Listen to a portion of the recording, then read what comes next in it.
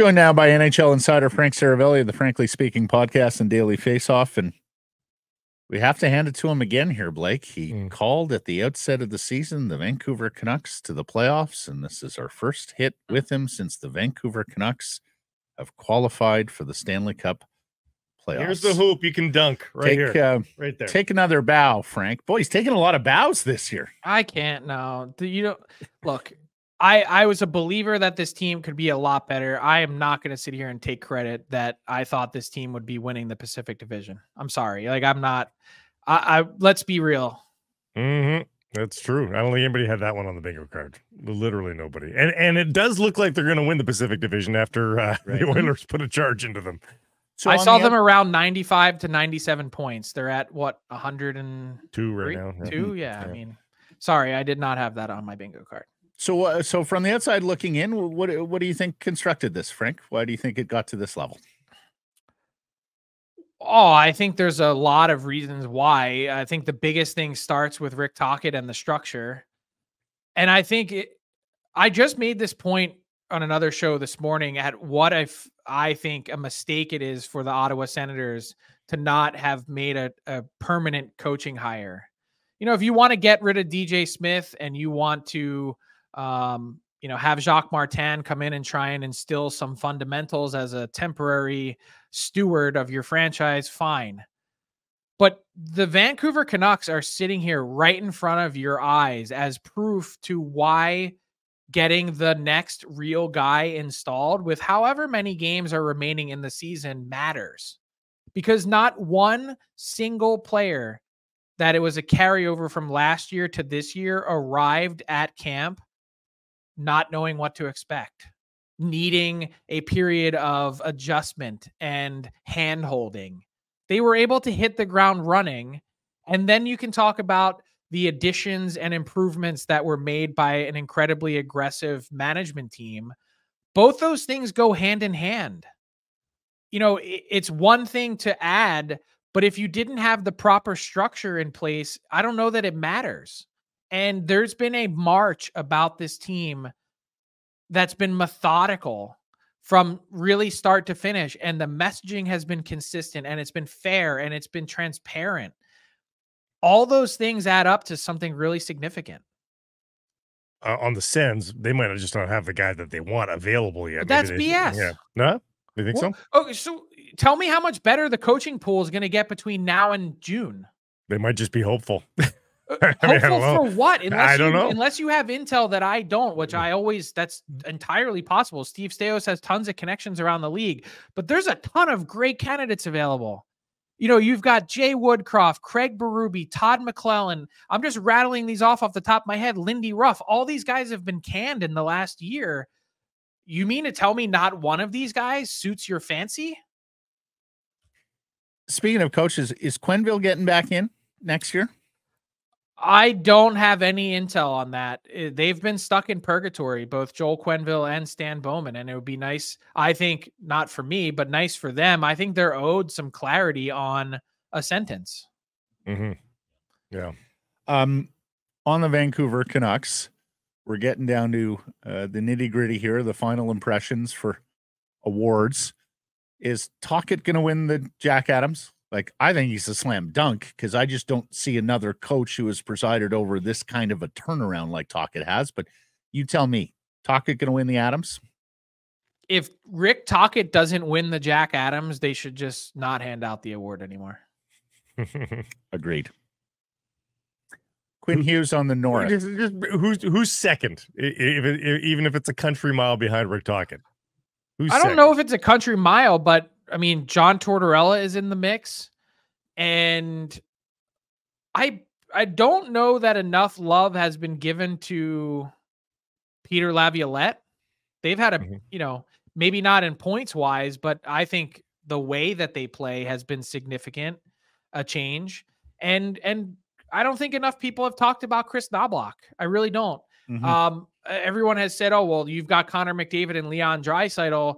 of course that team was going to turn it around. But the fact is, they were in 32nd place, and they're they're the only team sort of nipping at the heels of the Canucks for a division championship. Who would have thought that in early November? I'd say maybe they could make the playoffs, probably a good chance, but I, I didn't think that they'd be in the mix and this comfortable at this point in time. Did we Mm. have Dallas Stars winning the President's Trophy? Like well, that's, that's no, no, but i- as I talked about yesterday in my editorial, every team that's uh, are at 100 points or around 100 points are really good teams from with good last year. Yeah. Yeah. Yeah. Um, Winnipeg Jets took a step forward. So, you know, Bowness maybe deserves some love and some shout. I know he didn't coach every game this year. Uh, yeah, I have a didn't hard time with that one. Like, how do Mhm. you? No, I know. not against him, but like he wasn't No, even exactly. a quarter of the season. How No do you could you possibly do that? Right. No fault of his own, but it probably means that he's not going to win the Jack Florida Are the last- Jets pretenders anyway? Like I don't not that that matters because it's mostly it's it's a regular season award, but Mm. I, I mean, look at the road they're facing. I, I don't is there a tougher one in hockey in this bracket? Oh. You might be able to beat the Avs in round one, but here's your you know, you Yeah, get no, the stars in round two. Like, good luck. Yeah, to win series where you're giving up home ice to Colorado and Dallas would be quite a trick. I, I mean, I guess there's an outside shot still they could catch. Colorado, uh, Florida didn't have the best regular season last year, but then they made a run to the Stanley Cup final as the Eastern Conference champions. So, yeah, all the teams at the top of the pecking order in the National Hockey League this year had bona fides going into this year. The Vancouver Canucks are the one exception there. Can Uh, we ne- can we never do that again with the with the Panthers? Like, I'm not saying you, but the next person that says to me, "Oh, the Florida Panthers," you know, a- as you know, being so far down in the standings, look at the miracle run that they made. Like my head explodes every time they had 122 points and won the President's Trophy the year before. Right. Yeah. I know what Mhm. you're saying is factual, but Yes. it's, it's not really. That's not what the true narrative is. It, that's No. a good team that underperformed. Yeah, well, a- and, Canucks, Canucks in '94, same idea. Well, they no. were a juggernaut the year before. They just underperformed in the year that they went to the Cup. And it's a fair point. A lot of the teams at the top of the NHL pecking order this year not only have last year bona fides, they have two years ago bona fides Mhm. uh, as well. But I heard people saying heading into the season, oh, why can't the Calgary Flames be the Panthers of last year? And I'm going, because the Calgary Flames were never really good. Is that rude? Nope, especially not here. Okay. Your Q rating just went up Yeah, in Vancouver, exactly. Edmonton, Is and that rude? Are you Um, kidding me? You're pandering at this point. Quinn Hughes and the Norris, and there's uh, selections already coming out. Some picking Cale Makar. Roman uh, Josi is making quite a bid here as the Nashville Predators have had an incredible second half. What's your feeling on Quinn Hughes? Is he going to win the Norris? With all due respect to Roman Josi, I think this is a two horse race. And I realize how well Josi has played to help the Preds solidify their spot in the postseason and the winning streak that they were on. It was truly impressive. And he's obviously a great defenseman who is having a good year, but where was he the first chunk of the season? Cale Makar and Quinn Hughes have never had the dip. So Mhm. uh, unless you're telling me that since then Roman Josi has been 20% better than those two guys, I'm sorry, he's he's not in he's not factoring into the one or two spot on my Norris ballot. How much is Well, there's three finalists, so I threw his name in there. But Sure, no, the I- que- I'm just to saying The question is Quinn going to win it? Space. Uh, the question is, um, I'm really torn. That's my true answer. I don't know what I'm doing yet with my Norris. Um, I don't know how to. I, I hope I can properly analyze the defensive zone impact of both of them because the points are going to be somewhat close. It's going to be uh, probably a negligible difference. Um, the minutes, the responsibilities, the overall impact on how you know they challenge or I guess prop up the rest of their team is important. They're really close in so many categories. I think what it's going to come down to for me, if I can possibly make a decision, is how to analyze their defensive zone play. do Who's the think pe- better defender? Because they're both, I think they're equally talented offensively. do you think that So people points forget? and team standing aren't aren't d- d- like whoever Well, they're leads going to in be points. this, they're going to be mostly the same, are they not? Fair enough. Yeah, I mean, and who'd have thought that? Because Cale Makar's always scored goals. Quinn Hughes only this year has started scoring goals, um, and they're separated by three for heaven's sakes. Um, I mean, the old the old adage, best offense, best defense is a good offense. Isn't that hold true for both of these guys? And that that's again why to me they they are a little bit above Josi and and others is that these guys just have the puck on their stick and and you're not scoring when the puck's on their stick. Yeah, and I think they have their own like unique, amazing abilities. Um, when I think about their games in a vacuum, or at least try to envision them, I think Quinn Hughes is arguably the best passer in the entire NHL. He certainly, you know, math wise, I think I have to double check it. Last time I looked, makes the most successful passes in the NHL. Mm-hmm. When I think of Cale Makar, I think of someone that has this almost like uh, like artful uh, figure skating ability to like move out of the way of players and then use that skating to get the puck up the ice. So they're kind of, you know, their their their impact and eventuality is the same. They both move it, um, but they do it in slightly different ways. Which one means more? I don't. Like, I honestly think with both these players, we're we're splitting the thinnest of hairs. Mm-hmm. Um, and that's a huge um, feather in the cap of Quinn Hughes because oh for sure everyone knows that he's mm-hmm. yeah he's he's made up the ground whereas Cale Makar has been at this level for two full seasons now this is the third at least um Quinn Hughes has elevated to that level does that mean you get to you know take the mantle I don't know yet I thought he'd be a nine goal, 70 assist guy, you know, at his top end. I didn't see the flirting with 20 goals in Quinn Hughes' arsenal. So the fact that he's added that is, uh, is, is pretty astounding, really. Um, One narrative to push back on is I hate the idea too that so this is for any award so and so deserves it oh this guy's won it for a few years let's give it mm. to someone new that's that's complete and utter bullshit and the fact that someone would say that out loud as a voter is disappointing to me. Yeah, voter fatigue is a real thing, but you're right; it shouldn't be. Mm-hmm. If a guy earns it, he earns it. Um, uh, uh, where was anyone saying this when Nick Lidstrom was winning the Norris Trophy? Yeah. Like, there, there's no reason to take away from Cale Makar to prop up Quinn Hughes. Mm-hmm. and I'm not. I'm not shading. I'm not giving you some insight into how I'm thinking about it. I'm just saying these two are going to be so incredibly close. It's going to, my guess is it's going to be one of the closest Norris Trophy votes in terms of points that we've ever seen. Do you think the Canucks regret not adding another piece, especially a winger, at the deadline?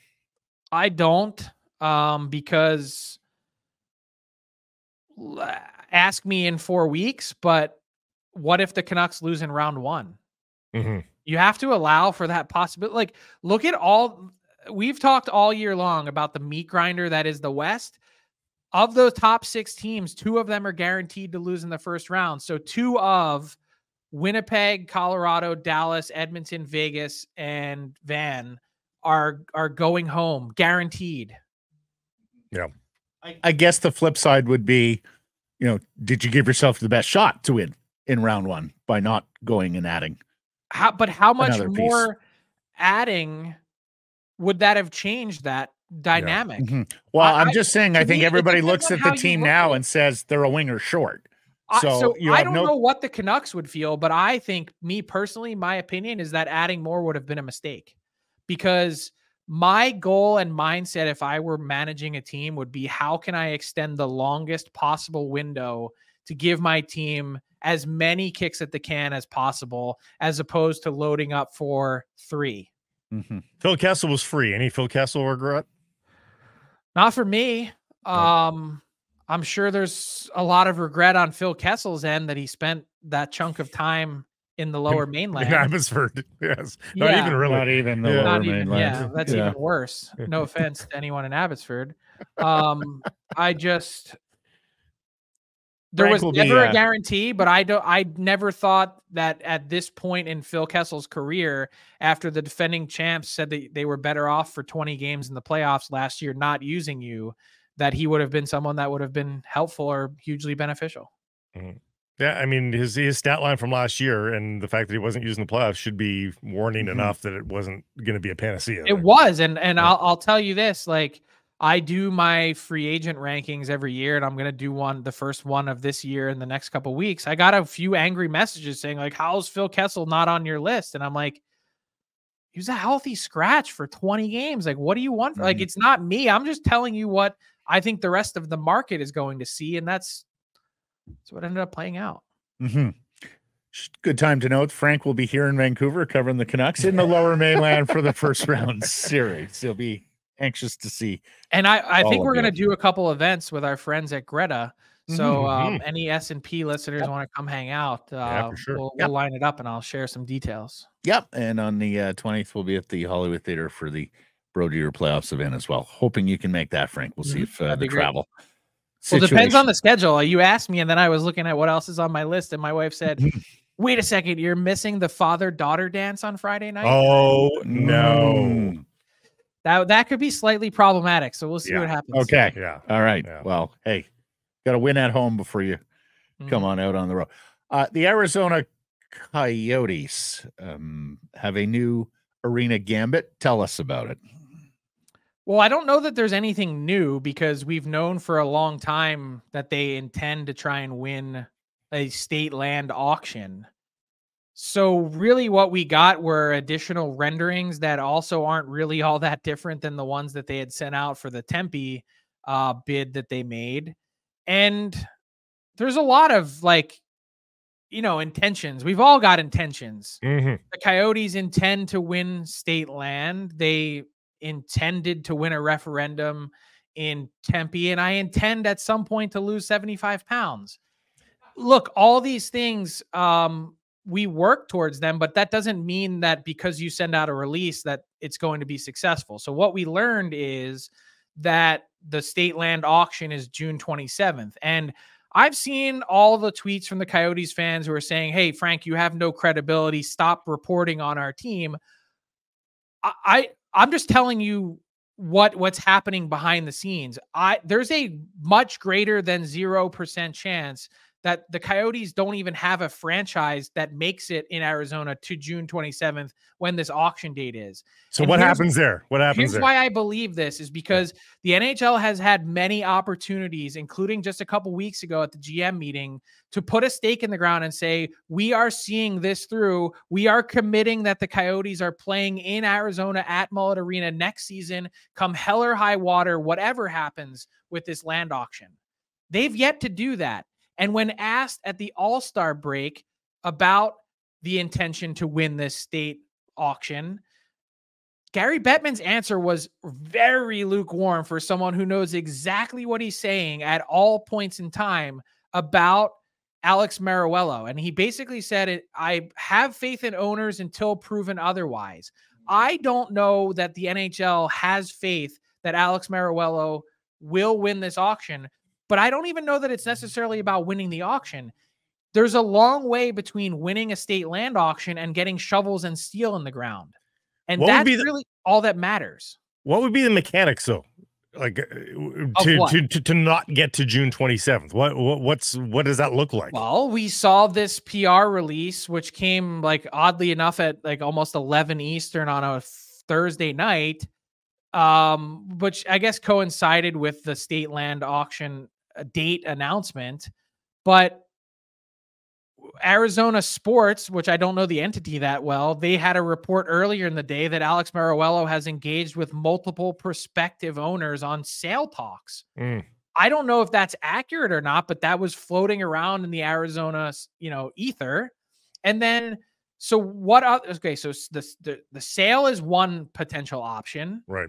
Uh, the next part is, and I've I've mentioned this before, is I believe the league has been investigating their own options of what would we need to do or what would need to happen in order for us to take control back of this franchise and how much of a you know unwilling combatant is um is Alex Meruelo going to be in this process? Right.